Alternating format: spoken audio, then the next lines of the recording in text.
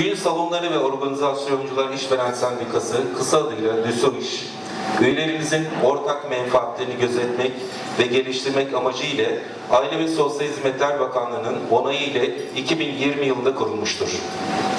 8 bölge ve 81 ilde hizmet veren sendikamızın sektördeki firmaları tek bir çatı altında toplayarak, toplayarak üyelerimize hukuki danışmanlık, desteği, fuar hizmetleri, tanıtım çalışmaları ve malzeme temininde ortak ihaleler gibi birçok hizmet sunmaktadır. Sendikamız ortak yerel yönetimlerle iletime, iletişime geçmiş ve sektörümüzün tanınabilirliği sağlanmıştır. Bunun yanı sıra ilgili bakanlıklar ile görüşmeler yapılmış, sektörün karşılaştığı problemler ve çözüm yöntemleri bildirilmiştir. Ayrıca organizasyon, organizasyonculuk mesleğinin kriterlerini oluşturmak için Mesleki Yeterlilik Kurumu ile protokol imzalanmıştır. Hepimizin bildiği üzere yaşamış olduğumuz zorlu pandemi dönemi tüm sektörlerde olduğu gibi bizim sektörümüzde derinden etkilemiştir. Bizim gibi en az 55 iş kolu ile işbirliği içinde çalışan, ülke ekonomisine büyük katkı sağlayan düğün sektörü firmalarımızın olumsuz etkilenmesi birçok iş kolunu ve ekonomik olarak da desteksiz bırakmıştır. Bu sektördeki en büyük halkanın kopması düğün salonlarının kapalı olması demektir. Bu durum gıda sektöründen giyim sektörüne tüm ekonomiyi etkilemiştir. Pandemi nedeniyle iş yapamaz hale gelen üyelerimize ikinci darbede ruhsatsız iş yapan, organizasyon yetkisi olmadan, kişi sayısına dikkat etmeden ve hiçbir hijyen kuralına uymadan etkinliklerini sürdüren, haksız kazanç sağlayan işletmelerin varlığı olmuştur. Bizler önlemlerimizi alarak sektörümüzü canlı tutmak hedefindeyiz. Bu nedenle sendika olarak bu zorlu şartlarda işimizi sürdürebilmek, ekonomiyi canlı tutabilmek adına üyelerimizle birlikte hareket ederek toplantılar düzenledik ve düzenliyoruz.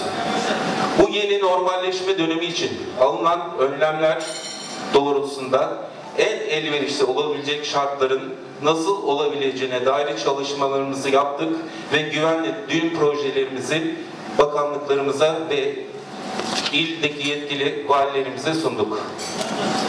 Çalışmalar sonucunda üyelerimiz ile birlikte tek ses olarak ilgili bakanlıklara sektörümüzü ifade etme fırsatı bulduk. Aile Çalışma Güvenlik ve Sosyal Hizmetler Bakanlığı, Sağlık Bakanlığı, Turizm, Kültür ve Turizm Bakanlığı güvenli düğün projemizi sunmuş bulunmaktayız. Bu projelerle birlikte salonlarımıza ISO 9001 2015 kalite belgesi alarak turizm sektöründe olduğu gibi bizlerin de işletmelerimizde kontrollü denetimler altında düğün ve organizasyon faaliyetlerimizi yapabileceğimizi resmen beyan ettik.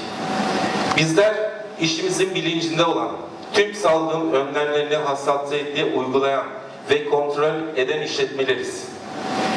İşin gücünü toplumdan alan ve en önemlisi sektörlerden olan düğün sektörü olarak toplum sağlığının en çok önemsenen kurum olduğumuzun altını çizmek isterim. Güvenli düğün projesiyle düğün salonları ve organizasyon firmaları işletmeciler olarak ortam şartlarını, bulaş riskini en aza indirecek şekilde düzenleyerek maske, mesafe, hijyen kurallarını titizlikle önemseyerek ve tabii ki en önemlisi denetimler doğrultusunda faaliyetlerimizi sürdürmek istiyoruz. Bildiğiniz üzere geçen yıl 24 Haziran genelgesiyle 1 Temmuz'da açılmış olmuş açılmış olmanın vermiş olduğu rahatlığı bu yılda tekrarlanmasını istiyoruz. 24 Ağustos'ta gelen genelgeyle sezonu tamamen kapattık. Verilen 50-100 kişilik davetli sınırı ile düğün yapma şansımız maalesef bitmiştir. Düğün salonlarında yapılamayan organizasyonlar, lokantalara, kafelere hatta 35-40 metrekarelik evlerdeki odalara kaymıştır. Doğal olarak mesafenin daraldığı ve bu noktalarda riskin arttığı kesindir. Yurt genelinde kaçak düğünlere fırsat verilmemesini, düğünlerin düğün salonlarında yapılmasını talep ediyoruz.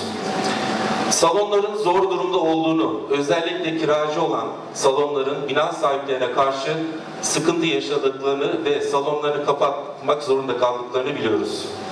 Ruhsatsız çalışan firmaların tespit edilmesini ve bu denetimlerle önümüzün açılmasını istiyoruz. En önemlisi bizler düğün salonları ve organizasyon firmaları olarak birlikte güçlü bir sektörüz. Bizler rakip değil meslektaşız ilkesiyle hareket ediyoruz. Bizlere destek verip buraya toplantımıza geldiğiniz için hepinize ayrı ayrı teşekkür ediyorum. Salonunda yapılmayan düğünler hiçbir şekilde yasal değildir.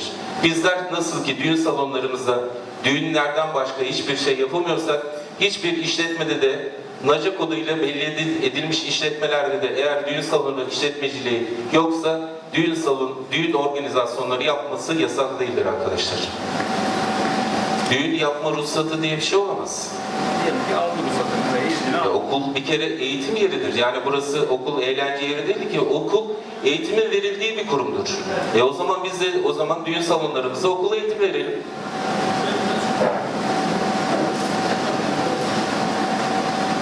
Ee, Buradan e, biz bundan sonraki süreçte de e, düğün salonu ruhsatı olmayan yasal olarak e, yerlerde de bu uygulamaların artık kaldırılması ile ilgili girişimlerimizi başlatmış bulunmaktayız. Buradan da kamuoyundaki değerli e, arkadaşlara sesleniyorum.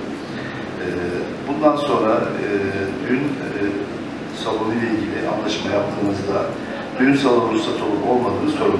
Çünkü bundan sonra hiçbir işletmemiz eğer ki düğün salonu ruhsatına sahip değilse sendikamızla beraber yaptığımız çalışmalar neticesinde e, hiçbir işletmede, okullarda, sokaklarda ve diğer yerlerde e, düğün organizasyonları yapılamayacak.